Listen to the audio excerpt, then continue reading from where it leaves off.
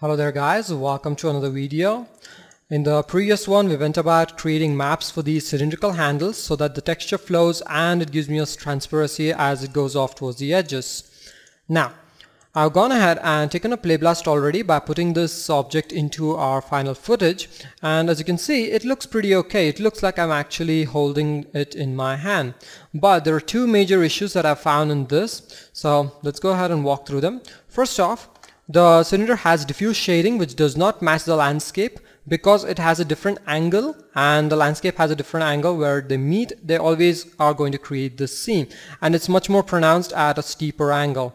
And also uh, if I go forward when the landscape is almost flat you can see that the background cylinder is actually visible which it's not supposed to do so I need to edit this uh, file in such a way that I hide the background cylinder using the landscape and also make sure that the transition goes on properly.